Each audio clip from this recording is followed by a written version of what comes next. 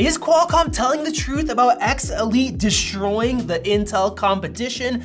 Well, we have the Surface Laptop 7 with the X Elite and the Surface Laptop 6 with Intel's Meteor Lake Core Ultra 7, the fastest version for thin and light laptops. And today we're gonna compare a bunch of benchmarks and real world tests along with battery life to see how much of a difference do we actually get. Now here are the full specs side by side and you guys could see that they're similarly equipped as far as RAM and the SSDs, but the Intel version actually costs $400 more. Now this one was actually released just a few months ago, mostly for enterprise and for business, and Microsoft doesn't really want regular people to buy it because they were launching their new Copilot PCs, but I bought this with overnight shipping to make this video for you guys, and both of these laptops are at 100% battery life, so I'm gonna go ahead and disconnect both of these and we will see how they do, not only in terms of performance, but battery. Now, opening this up right away, I noticed some major differences because you can see those fat bezels that are the same as the Surface Laptop 5 and the 4 and the previous ones. The screens are not as bright, the quality is not as good, and with that, the trackpad is a diving board design, unlike the really nice new magnetic one. And then on the side, we get an extra USB-C port with the Surface Laptop 7 with X Elite. It's also a little bit thinner as well. So this machine is really upgraded despite being less expensive. Now I do have both of these set to the best performance modes, just so you guys know that. And I wanna start out testing out the 512 gigabyte SSDs. All right guys, this is something I wasn't expecting. The Surface Laptop 6 has faster SSDs. We have 12% faster in terms of read speed, and then we have 42% faster in terms of the write speeds. And I also noticed that during this SSD test, the Intel-based laptop, the fan started spinning up already, which is not good for this easy test. And now I have Geekbench 6 opened up right here, and I wanna mention that this is the 80 SKU of the X Elite that goes up to four gigahertz, whereas this is the Intel 165H. It's actually slightly higher than most of them, which are 155Hs, goes up to five gigahertz of the boost clock. Both have 16 gigs, so let's go ahead and run this. And here are the scores, and look at the X Elite. That single core score is 21% higher. And then for multi-core score, this is actually great for an Intel system, but it is still 15% lower than the high score of the X Elite. And while we're here, I also wanna do a compute test for the graphics, both running Vulkan, which gives us higher scores. We have Intel Arc compared to the Adreno X185. And look at that, the Intel Arc graphics actually beats out the X Elite graphics by about 15 percent for compute tasks. Of course, we are gonna do some other tasks here in just a sec. But first, I wanna do a web browsing test here. We're using the same browsers with the latest speedometer 3.0. And look at this difference right here. We have 20.1 compared to 25.2, 25% faster for the X Elite, even though it has a lower boost clock. And this just shows off the snappiness for web browser, web applications. And I have to say, when I was setting up this Intel laptop, I forgot how slow Windows laptops are. Even closing Windows down, opening programs, I got used to the snappiness of X Elite like a Mac, so going back was a little bit frustrating. And now I have Figma opened up, the desktop app, and this project is brought to us by 500 Designs, one of the best design studios in California. And I already know how quick and responsive this is with the X Elite. Zooming in is super smooth. As you guys see, that was loaded up pretty much instantly. Let's try on the Intel one, little choppiness coming in.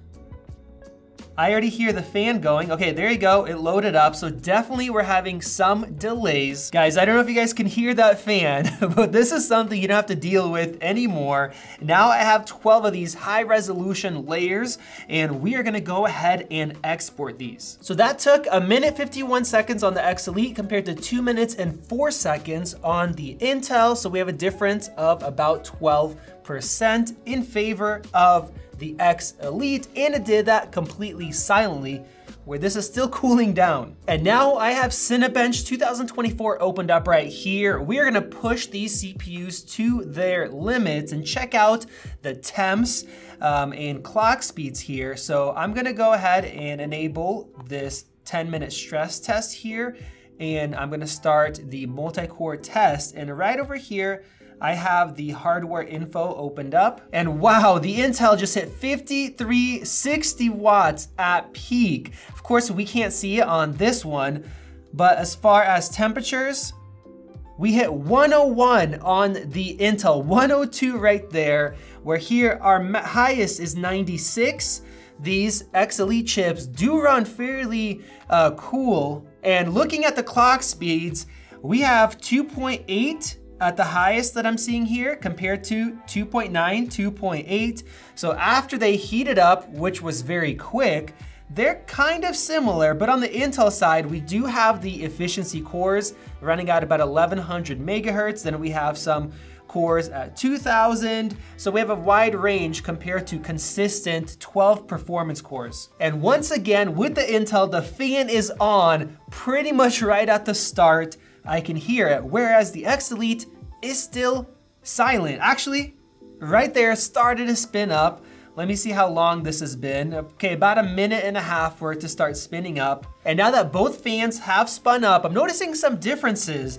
A loudness might be about similar, but the sound is different. This is like a low end hum that's less annoying, whereas this one is a higher frequency, kind of like a whine sound that stands out more. Now on the Intel, we could see the wattage. It jumps around, but it's settling in right around 30, 32 watts. On the X Elite, we can't see it, but uh, this one is supposed to be rated about 23 watts, so it is using quite a bit less power to do this task. And now, after about five minutes, looking at the frequencies, the X Elite jumps from 2.5 to 2.7 gigahertz back to 2.5, Whereas with the Intel, the fastest cores are running at about 2.3, then sometimes they slow down and all the other cores are running slower. So even though this is rated up to five gigahertz, in reality, you're not getting that when you load up the system. And now I busted out our thermal camera. You guys see the heat there on the X Elite, 47 degrees on the hot spot, and then we have some heat where that fan is. And look at that, 45 on the Intel. It's actually running cooler, but the heat is spread out. So I wonder if we have dual fans on this one compared to a single fan with the heat moving into that corner. All right, guys, wow, that was interesting. Both of them did two full runs. We have 867 on the X Elite and 585 on the Intel version. So that's a 48% difference in performance. And we know that the X Elite used a lot less power as well. So that is incredible. And now let's go ahead and push the graphics in terms of gaming performance. I have 3DMark's Steel Nomad Light opened up right here, which is new and it is representative of newer games. And wow, look at that. We have 15.31 frames per second with the X Elite compared to 20.89. That is 33% better gaming performance in terms of graphics. Plus, you know that with the Intel system, you're not gonna have any compatibility issues or any issues in related to optimization for ARM. So if you care about gaming, the Intel chip is still quite a bit faster with the ARC graphics. And now I have Blender opened up right here. And even though the graphics aren't very powerful on the Intel, it can still use that to help speed up uh, the performance. Whereas with X Elite, the graphics just won't work for that. So we are gonna go ahead and render on both of these. And I wanna see what our differences are gonna be. All right, guys, we have a minute and 18 seconds on the Intel compared to 4 minutes 18 with the X Elite. That's almost four times faster, and man, do the graphics on the Intel system work well for compute? Now, if we were running it in CPU, it would actually take longer than the X Elite, but nobody would do that. This works great for simple renders like this, whereas the X Elite, this is just not a strong suit. And now I have Lightroom Classic opened up right here, which is gonna push the CPUs, it's gonna use the graphics and the RAM. And I'm gonna start out with just switching through some of these images. Let's see how quick these react. And surprisingly, the X Elite is just slightly ahead, applying all of these edits that I have to each single um, raw image here. Now I wanna mention that the X Elite is not fully optimized for this yet, but it was still really good in terms of performance. And now let's do some AI tests. I'm gonna use the subject detection for sky. Wow, the X Elite did that quickly.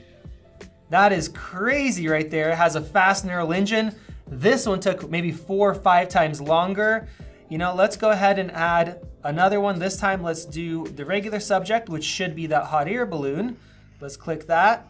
Once again, the X Elite was quite a bit faster than the Intel. That is impressive. And now I'm gonna export all 50 of these high resolution edited files. Let's go ahead and hit export here, start my timer. And while this is running, I wanna mention that if you're using the Lightroom mobile version, that's actually a little bit quicker because it's optimized for ARM.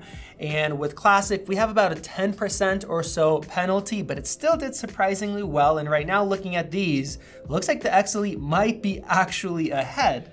All right, guys, I was not expecting this. The X Elite did that in a minute and 52 seconds compared to two minutes and 12 seconds for this best Core 7 Intel processor that's fully optimized. That is impressive knowing that it will actually get faster with future updates and it did this while running quieter as well. And guys, now I have to talk about the battery life because even though we didn't finish all of our standard tests here, the Intel is now at 4% battery.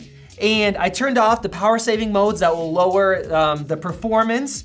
And now it's at three. Oh, it went into hibernation mode automatically. Wow, the X Elite is at 39%. So I'm gonna call this basically 40% better battery life under load when you're running tough tasks that suck a lot of power.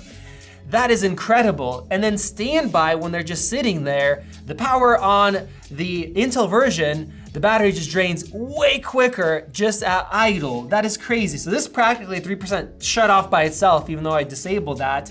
Basically, it died where this is still it still has I don't know another hour of battery life, really pushing it, or many hours for light tasks. That is crazy. So even though the CPU performance is a lot better and graphics is weaker, but not half the performance, the battery life difference is massive. So that is amazing for Windows laptop users. Now I'm gonna go ahead and plug both these back into power. Let's turn this Intel version back on because it fully shut down and we are gonna finish off our tests. And now I'm testing DaVinci Resolve 19. This is actually compiled for ARM as well as x86. And here our standard 5 minute 4K HEVC is playing back perfectly with some LUTs and film grain applied. So neither of these have issues with the standard footage. And looking at our graphics usage here, the Intel uses between 35 to 39% of its GPU to process this, compared to right there we just hit 60. So between 50 to 60 on the X Elite, meaning that you have more overhead on the Intel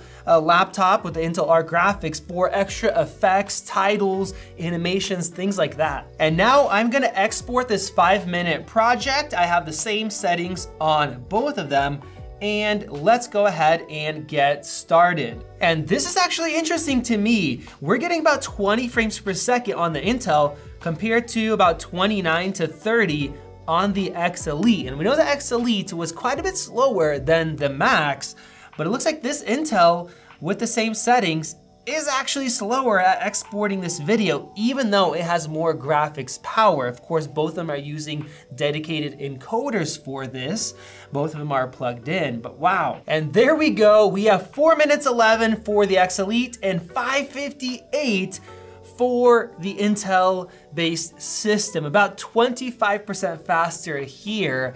That is crazy. So even though this system cannot compete with one of Apple's uh, chips with their media engines, it is still quite a bit faster than the more expensive current Intel system. So bravo to Qualcomm. So what did we learn after doing all of this testing? Well, the X Elite's a much better machine for less money, quieter fans. The battery life is way better. And let me tell you guys, if we were to do our full test with displays, speakers, webcams, and our previous videos instead of focusing on performance, the battery life difference would be even greater.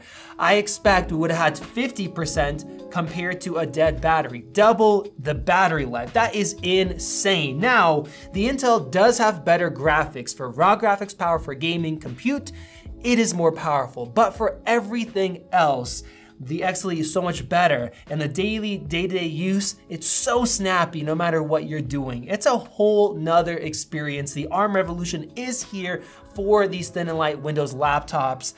It's a great machine. And as far as the upgrades to the machine itself, uh, the display, the trackpad, having the extra port, man, this is a nice balanced computer if you're gonna be running a Windows laptop. So you guys let me know your thoughts down in the comments section below. Go ahead and click that circle above to subscribe. Check out one of those great videos right over there. This has been Max, and I'll catch you in the next one.